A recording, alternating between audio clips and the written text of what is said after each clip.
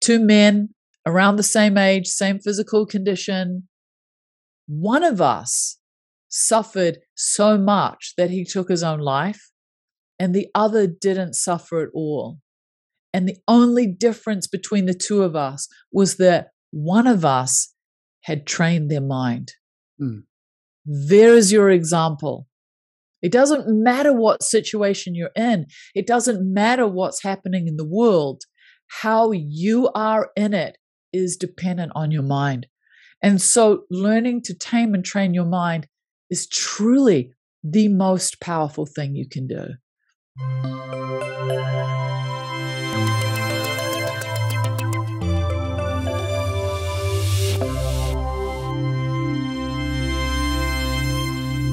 Welcome to Mind the Shift. At last, we have a new episode after a month long hiatus, well, apart from a couple of uh, video logs that I've posted. My name is Anders Bolling. Uh, today, we're going to talk about happiness. Doesn't that sound wonderful? And I am happy and excited to introduce you to Monique Rhodes. Welcome to the show, Monique, and good morning. Uh, good morning, Anders. It's wonderful to be here with you. Thank you for inviting me onto the show.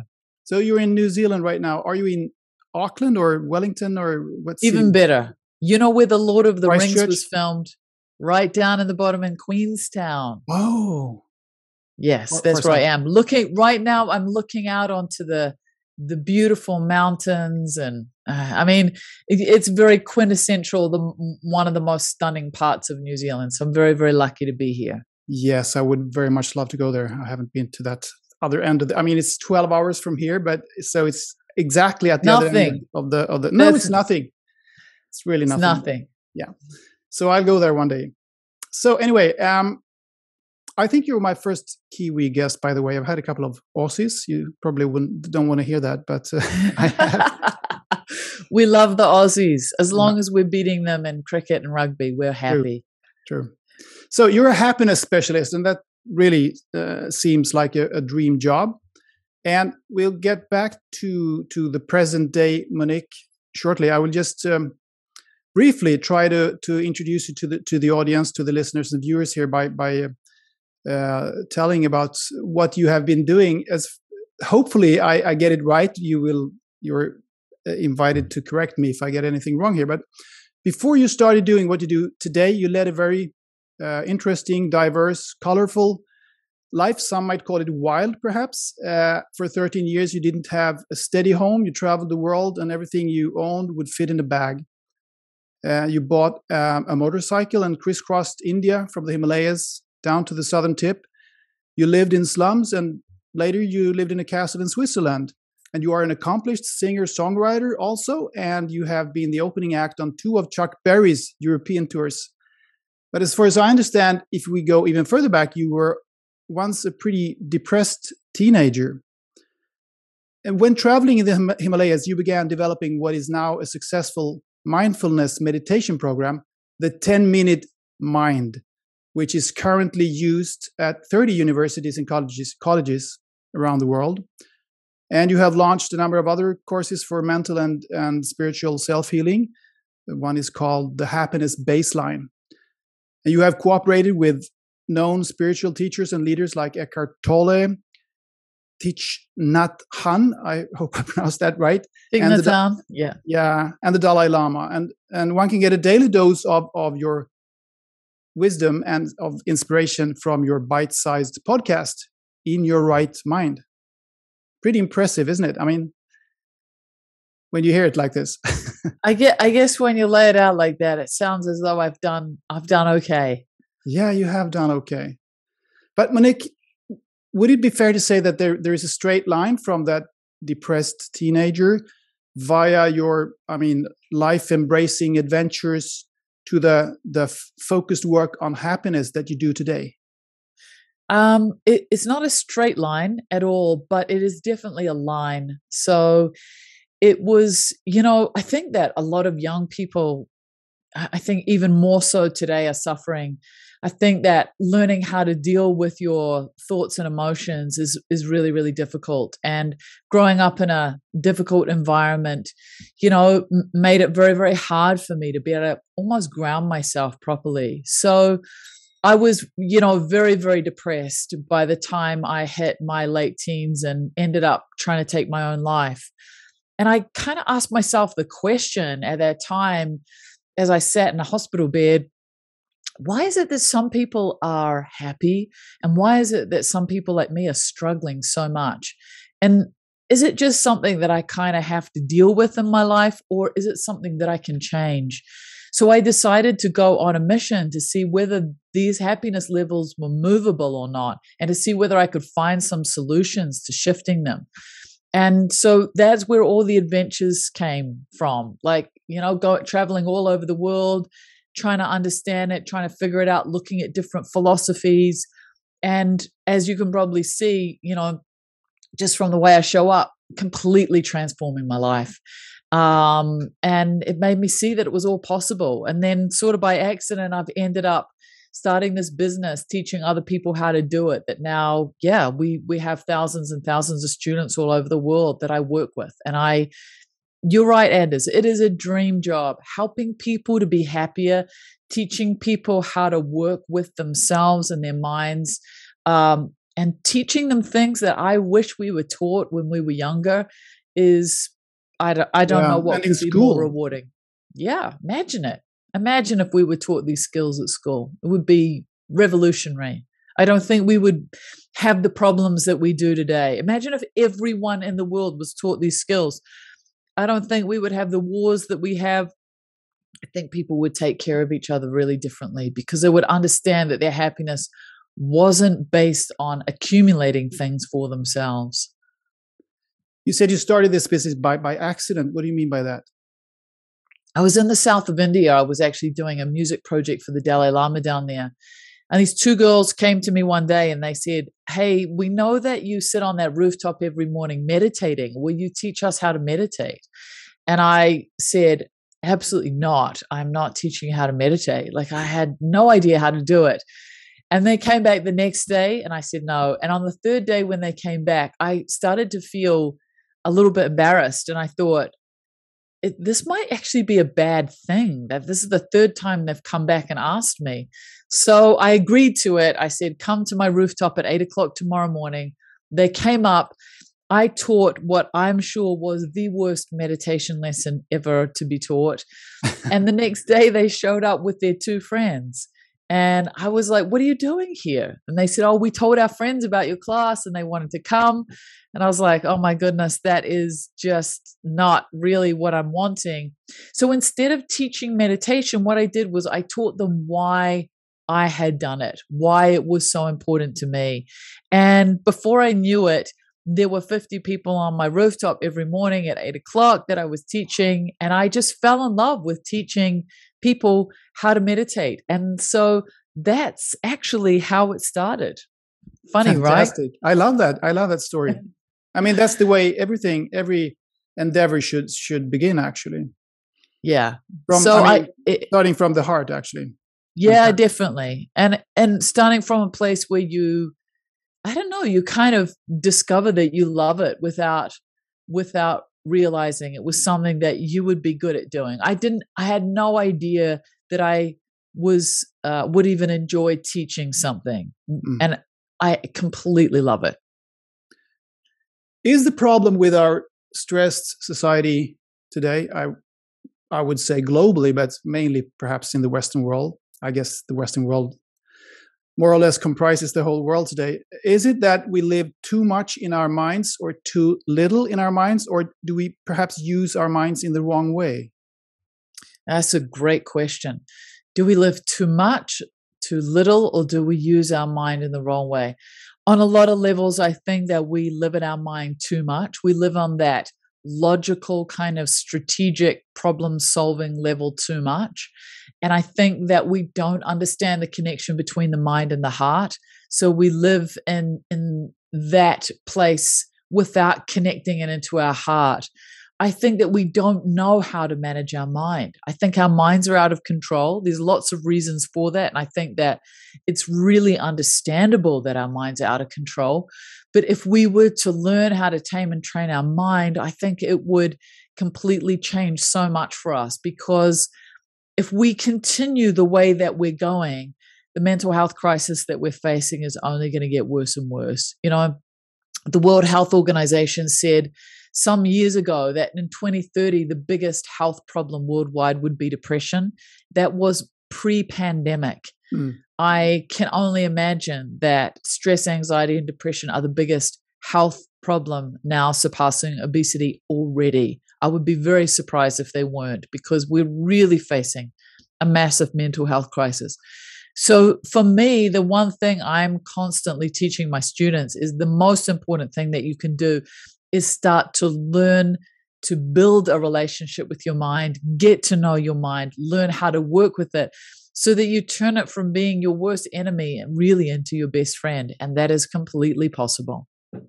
Yeah, I, I think that we're not really here most of the time. Don't, don't you think also? I mean, yeah we're, we're like we're here but we're not here we're somewhere else in our minds we're thinking about the future or the past well you've been cooperating with eckhart tolle i understand so uh, everybody who has read his book the power of now knows knows this concept of being in the now moment but it's it's very easy to say and it's it's pretty difficult to to do actually in our modern world because we have so many tasks in our head that we think we we need to do and uh, think about all the time. So, is that a trick really to to be present?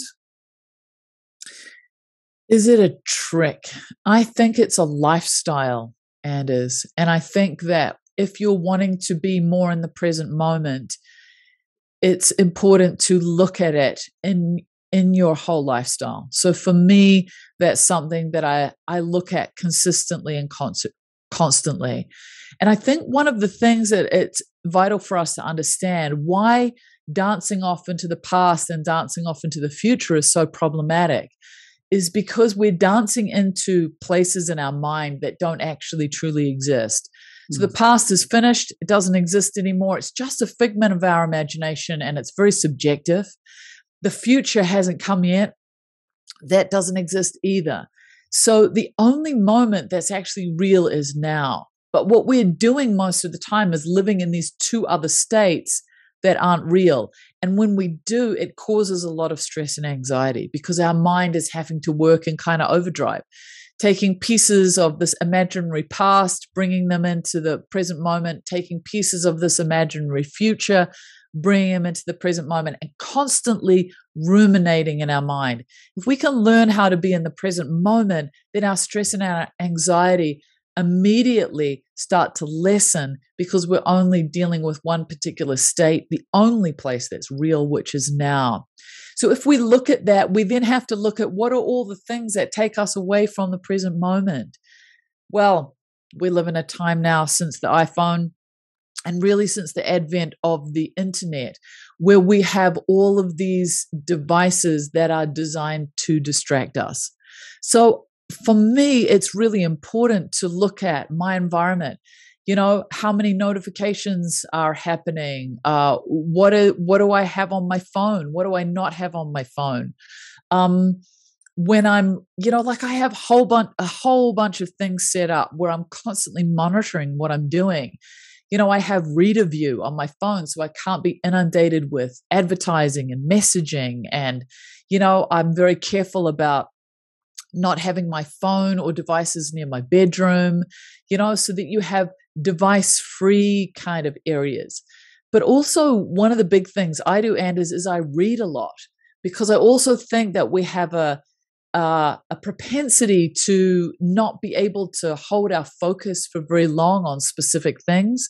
So, reading can be a really good antidote to that. It can keep us focused on something for a longer period of time and just to understand that we can't multitask. It's not mm. actually possible. It's not possible for us to multitask. The moment we go from one task to the next, it takes 15 minutes for our mind to adjust to the new task. So we have to be realistic. Even though everybody else is you know, doing this stuff with their habitual way of being, it doesn't mean that it's, the wisest thing to do just because the majority of people are saying it.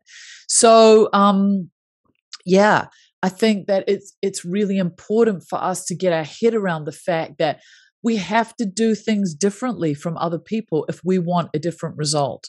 And if you want to be well in your mind, then you have to look at what people are doing now and think, mm, I might have to adjust a few things because if if the World Health Organization is right, then collectively we're making some big mistakes. Yeah, yeah. I wasn't.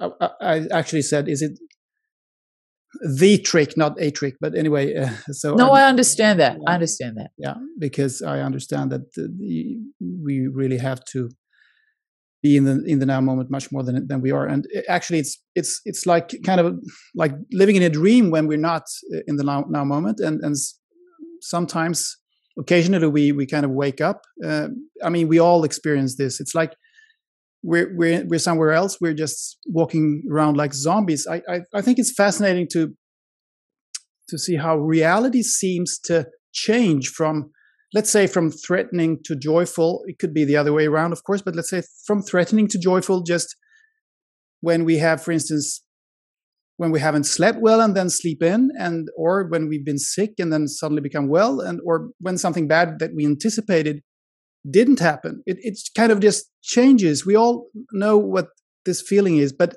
if we look at our, I mean, if we just stop and examine the actual situation that we're in, our actual reality, it's been the same all along. Nothing has changed, right? I mean, it's exactly the same. It's just in our heads, in our minds, that this reality has been shifting. It, it's fascinating and it's it's crazy in a way. Mm. So, um, Monique, what are the best uh, practical tools, would you say, to increase one's happiness? I think that one of the most important things to understand uh, from my perspective is that happiness is actually a habit. And I think that we underestimate the habitual places that our minds go to. So, that's really vital for us to understand. So I think I want to explain that to you a little bit. Please so do. it's like this. It's like this. So there are eight levels of consciousness. I'm trying to find something that I can show you to give you an example. Great.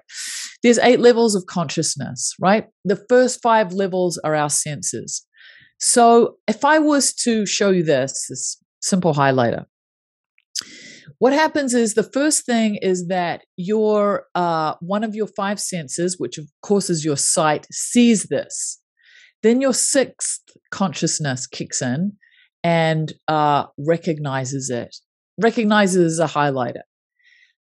Now we get into the problematic stuff. Your seventh consciousness then decides, I like it, I don't like it, or I feel neutral about it. And then your eighth consciousness is like your memory bank consciousness and it stores your reaction to this highlighter in it. And from then on, you start reacting to what you're experiencing in your environment based on the eighth consciousness which is storing all these memories. So let's get let me give you an example. Let's say you look at this highlighter and you go oh i really like that highlighter. If you look deeply, you might think, gosh, when I was a kid, I had highlighters like that and it was really fun at school and I've got such a good memory of it. Equally, you might look at it and go, when I was at school, my teacher was so mean to me. She had a highlighter like that. And so your your um reaction to this highlighter isn't based on the present moment. It's based on your experiences in the past. Mm. And just think about it like this you walk into a restaurant and uh, the waiter comes up and it's a guy called Sean, and you take a look at Sean and he reminds you of a guy that you knew when you were younger and you your wall is down you immediately feel a warmth towards him it is not at all based on who this guy is it's based on a past memory equally you might look at him and he might remind you of someone you didn't like so you your wall goes up. This is how we're relating all of the time. Okay. We're relating based on past memories. So that movement from the sixth consciousness that recognizes this as a highlighter to I like it, I don't like it, or I'm neutral to it happens for most people as quickly as you know when you have your iPhone or your phone on and uh, it uh, you have it go, it goes directly to voicemail. You know, it doesn't even ring. Hmm. That's mm. how quickly it happens. This happens in an instant. And this is where meditation practice is so powerful because it, what it does is it slows down the movement from the sixth consciousness to the seventh, but it also starts to drain the eighth consciousness. Okay. So you start to begin to learn to be a lot more in the present moment. You start to see that instead of going quickly into a reaction, this gap begins to, to show itself. And the more and more you have a meditation practice, the bigger you'll see this gap is happening. And what that gap does is it helps us to realize that in any moment we have a choice in how we react to things. We don't have to do it automatically. And the meditation practice also starts to drain this memory bank of experience so that we start to move into our lives where we're actually relating a lot more consciously rather than habitually. But equally, what we can then see is if we set up habits for ourselves that are really powerful, habits where we're using our mind in a powerful way, that those habits can also be really positive for us to increase our happiness. So, these two things in conjunction with each other, I think, are really, really powerful for us to understand. So, the habit is uh, ha- the habit of being happy. Is that a side effect of the habit of, of uh, trying to, to, as you say, neutralize the, the eighth and the seventh? Uh, yeah, I think this. It, I think the big thing is that we're pretty much habitual. So, if you want to, you can um, help yourself with the negative automatic habits by working with those levels of consciousness. But equally, you can set yourself up so that if you're someone like me, I'm habitually courageous, I'm habitually positive, I'm habitually grateful, I habitually see the goodness in people because I've built a series of habits around this that mean that my automatic response is to be loving and kind in as many situations as I possibly can. Do you think we miss a lot of opportunities when we're being so prejudgmental all the time that we conceive things? We, we, we, like you said, if you we pick up a marker, then we get uh, memories from from uh, some kind of bad school memories from childhood or whatever. So we we yeah well, we I mean we with endlessly. The pen, but if, if we meet a person who who we who reminds us of some some bad encounter in the past, then we might miss a lot of opportunities. I mean, that, that person might be a, a fantastic person to, to get to know who can help you with a lot of things. And uh, do you think we miss, miss a lot? I think the opportunity that we miss and is is the opportunity to be a loving person. So whether that person shows up as a wonderful person that you might enjoy or someone that's difficult, in both situations you have the opportunity to show up as a loving person. And if your natural reaction is to be defensive and self protective out of habit, then what you do is you miss the opportunity to either be really loving to a person that you might really enjoy and also to be really loving to a person who may teach you something. Because anyone that we come up against who's difficult has the opportunity to show us places in ourselves that we're lacking in love so that's that's the opportunity that I would believe that we miss out on. How would you define happiness, and where where does it come from? Where from where does it arise in in us? I think that there's two types of happiness. One is a sensorial happiness. So, uh, right now, you and I are doing this podcast, and it's really fun and enjoyable. And I have this feeling of wellness, and my energy levels are higher.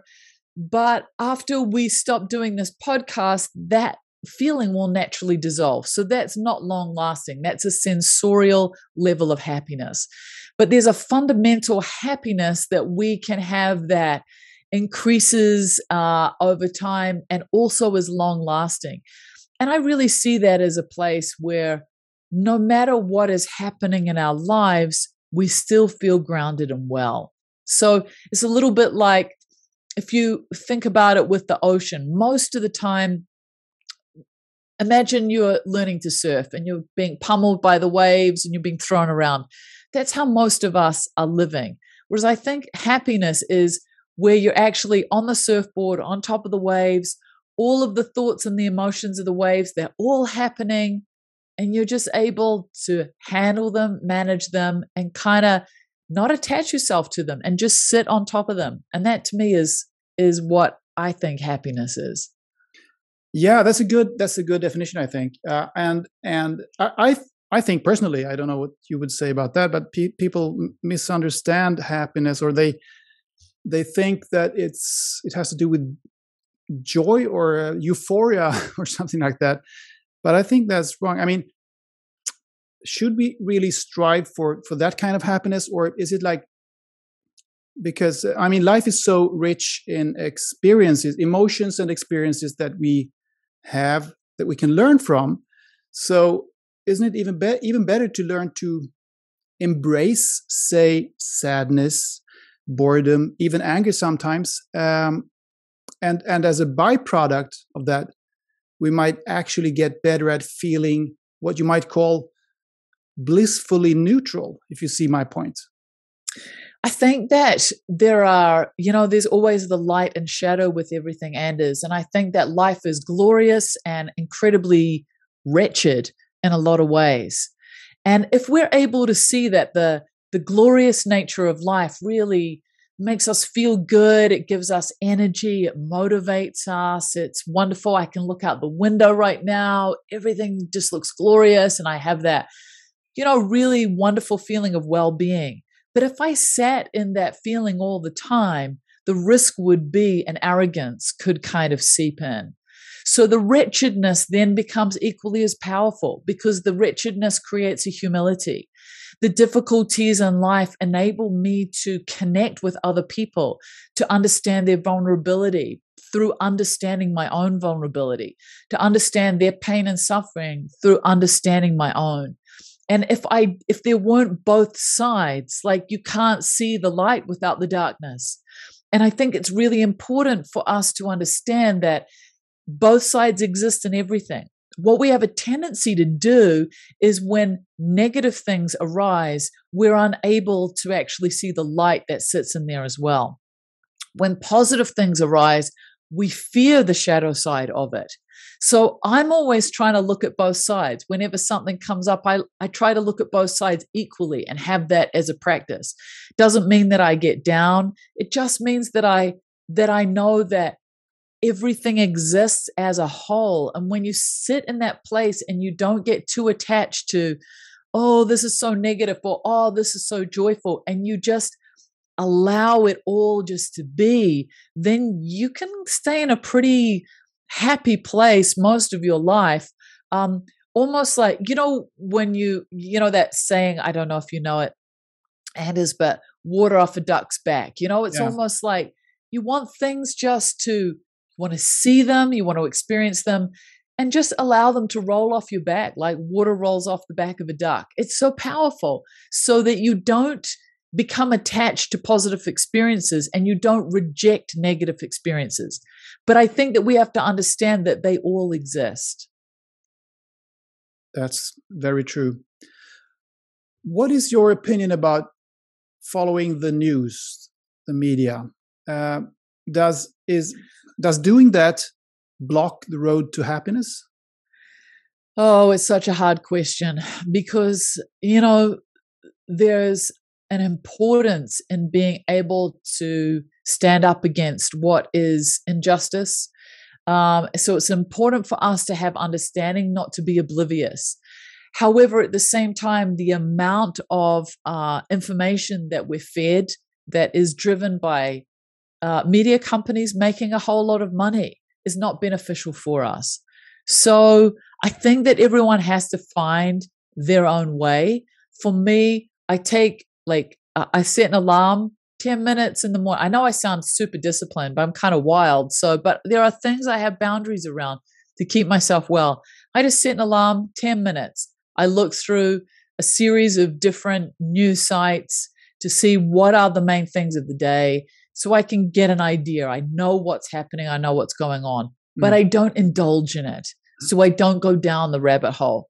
And I I see with my students particularly if they're really struggling with stress, anxiety and depression, if one of the first things that we do is look at their intake of news and as I swear to you, they're they're in the United States, they've got their TV on, the news is oh, rolling, yeah, yeah.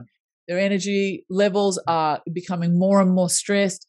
So I think it's important to understand it's good to have a level of information. How much level of information that you need in your life is up to you. But to also understand that the news cycles are there for people to make money. You know, they're not there anymore to inform you, they're really there for people to make money. So you have to be very thoughtful about that as you consume it. Hmm. Wise advice.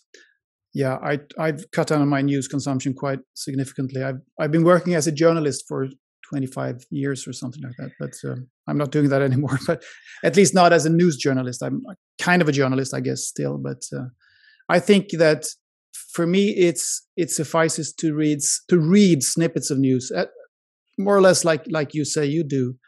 I don't want to watch it on TV that much. I mean, it happens, but not every day because uh, it's very emotional when you see it on TV. If you read some snippets, you get a you get a general view of what's what's going on as you say and then you can you, can just yeah go about your day. Yeah. So um yeah and today i mean we, we're in a constant uh, state of crisis it seems but that that is also in my opinion that is also kind of a, a narrative that we are being fed with from the mainstream, mainstream, not just the mainstream media, but also from the leaders and organizations and all that. So you have to be careful when you when you watch uh, when you take that in because um, you, I think you're well advised to check the facts and the trends and the averages yourself and go to that kind of websites and not only news websites, so you can, you can make your own judgment about what what is actually happening. But anyway, we know that there are, are some real crises happening, which there have always been.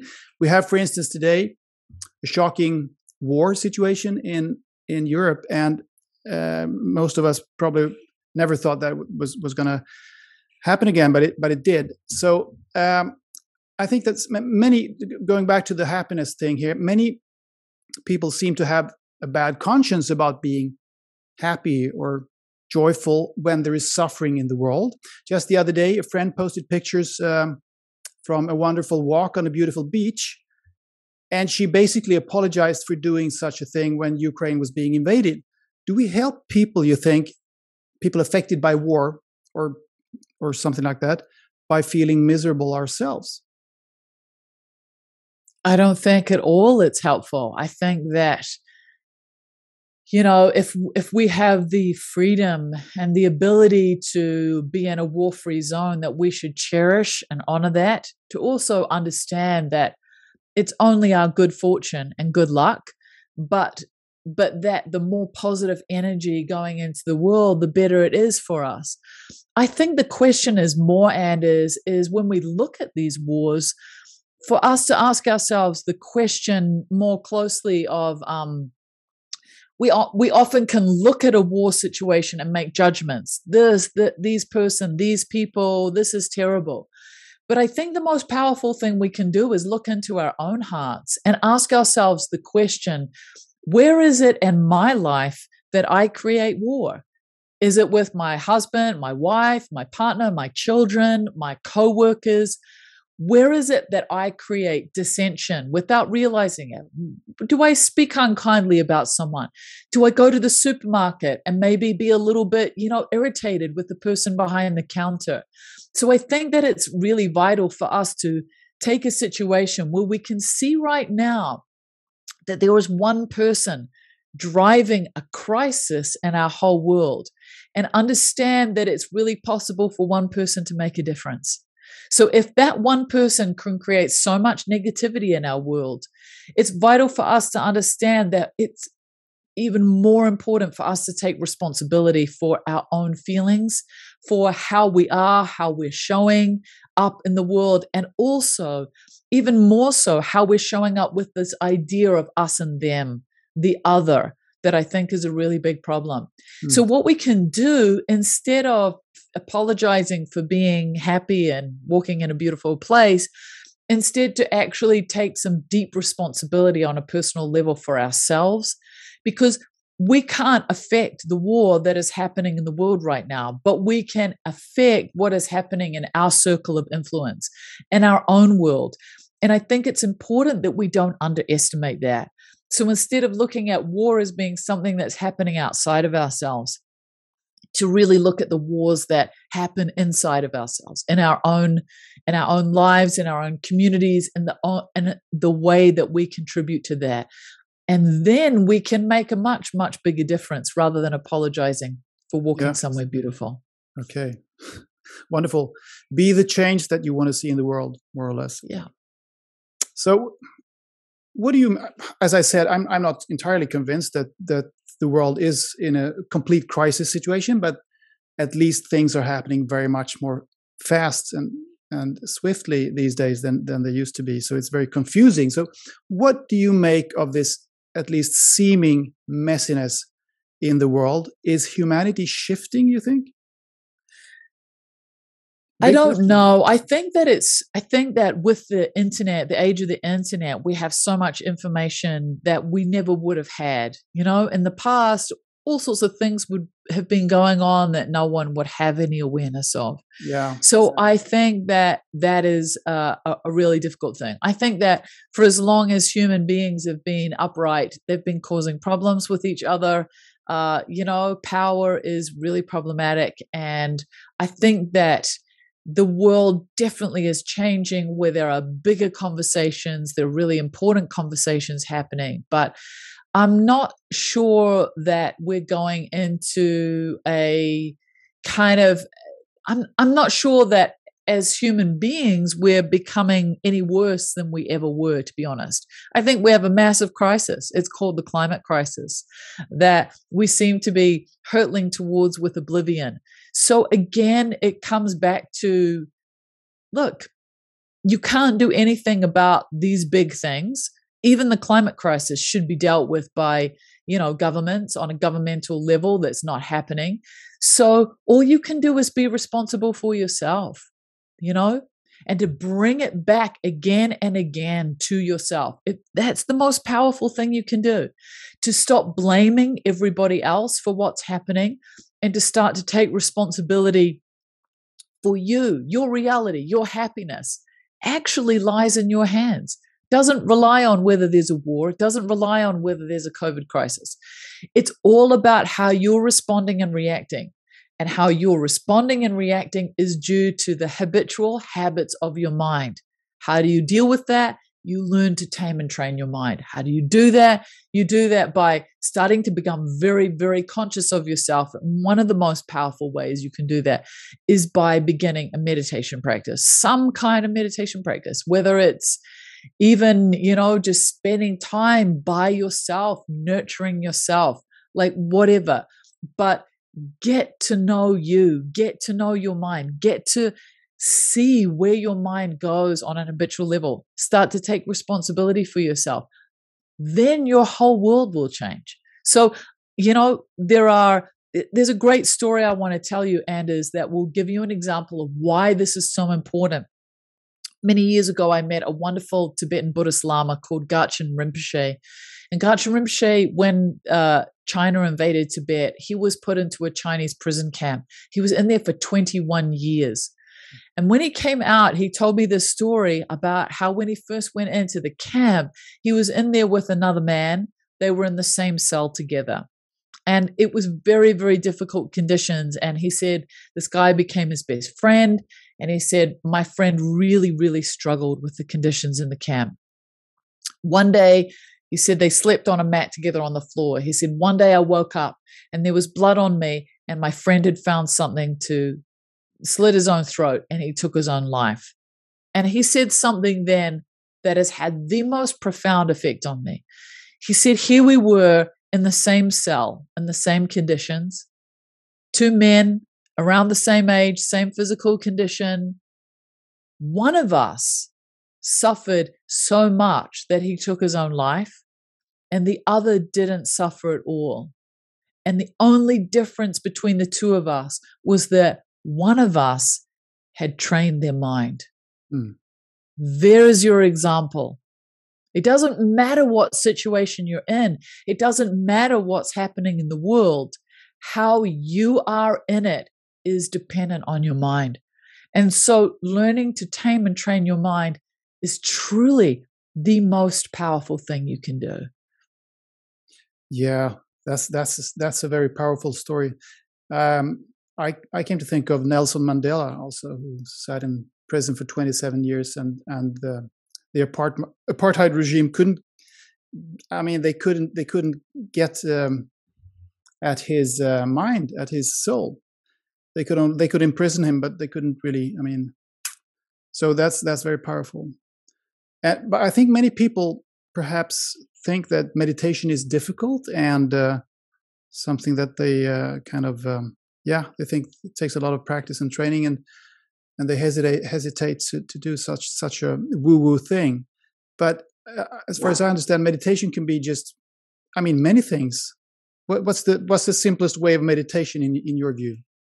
It's a great question. It's a really important one. I think most people do think it's complex and complicated and that you have to have no thoughts in your mind.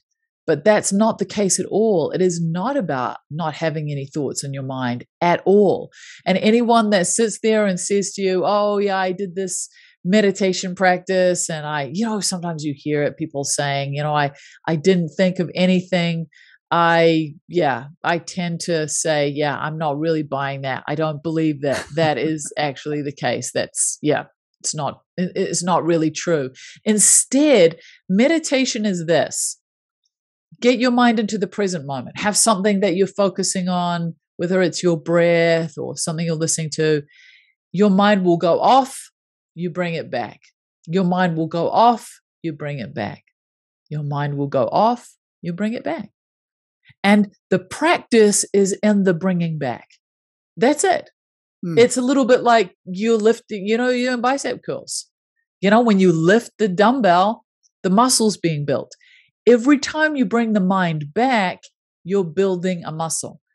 Through the day, you're going through your day, you never bring your mind back. You let your mind run rampant. You let your mind run all over the place like a blowfly, right? So all you're doing now is bringing it back. So almost like you're bringing it back like a homing pigeon. You're training it to come home. Bring the mind home. Goes off, you bring it back. That's meditation. Yeah. It's that simple and it's that difficult, of course, because our minds are so out of control. But if you practice it and you learn, oh, I just have to bring my mind back, that simple, that gentle, then all of a sudden the mind finds that it wants to rest at home more and more and more. And suddenly you're having a conversation, your mind's not dancing all over the place. You're writing an email, your mind's not dancing all over the place. You're watching TV, your mind's not dancing all over the place. You're there, your stress and anxiety levels begin to lower. So I think the most important thing with the med- with meditation is that you um, find a teacher to teach you, whether it's a online course or someone that you go to, but it has to be someone that's good. There's a lot of people at the moment who have done five minutes of meditation or done a weekend course or are teaching it, they're doing creative visualization or something like that. Make sure you find a good teacher. It's really important. And then learn. I know lots of people who have, you know, I sit every morning for half an hour and I just sit with my mind. That's not meditation, that's ruminating. Okay. so it's important so that, that you don't then, yeah, you don't create a habit then of just oh, I sit with my mind and I let it run off into a million places. That's not going to help you at all because you already do that. Actually, so, I try I try to see it in the, what I call the void. So uh, it's not really what you are describing, but but but I, I recognize parts of what you're saying. Yeah, yeah. So yeah, I just really encourage people to to find a teacher that they like, do a program with them, and learn learn the art of meditation. It's you know, I see it as my superpower. It's one of the most powerful things that I've learned. And I I can't speak more highly of it. And try it. Like, you know, in, in the 10 minute mind, we get people to do it for 30 days. It's only 10 minutes a day. Try it for 30 days. See how you go. Okay. And at the end of 30 days, if you go, I did it for 10, it's only 10 minutes. I did it for 10 minutes every day for 30 days. There was no change. mm. fine, let it go. But I've not met one person that's done it for 10 minutes every day for 30 days and not seen a change in themselves. Yes, I of course want to ask you now uh, how people, the listeners, the viewers, can access your wisdom and your courses and your programs. Uh, where should they go to find to find it, and, and how should they go about? And, and what are the most recommended courses and and programs that that you can offer? Sure. If you just come to moniquerhodes.com, like my name there, then we have the 10 minute mind you can try for 10 days. The happiness baseline is unbelievable. It's so incredible. We have we test people with the uh, Penn State University happiness inventory at the beginning and at the end. We have a 100% success rate in shifting people's wow. score from the start to the end. Yeah, it's really, really an amazing course. So that's amazing. We have, yeah, l- listen, we've got lots of stuff there. And just come. We have a happiness quiz try it, see where your happiness levels are at. Um, yeah, we've got lots of stuff for you to, you know, explore there. And also every day I podcast. Oh, I'm so sorry. I have a there's a, a dog who's not meditating. Month, a 10 month old buddy who's barking away. Um, we have a uh my podcast I do every single day. So yes, every well, day. That's impressive. That. I'm just trying to stop him because the last thing I want is I, I didn't expect him to bark, Anders. I promised you that he yes, wouldn't. you said beforehand. But he's he's wow. in a little bit of a naughty mood this morning. He's a little black and white Havanese. Yeah, but it's life. Absolutely it's life. gorgeous. It's yes. just vivid, you know. Yeah. Yeah. Okay, Monique Rhodes, it's been a true joy speaking to you today, and I wish you the best of luck with your wonderful endeavor to to spread, you know, the secrets of happiness in the world. Thank you so much, Anderson, for the wonderful work you're doing. And I hope to come and visit you in Stockholm very soon. Please do. Thank you. I will. Bye.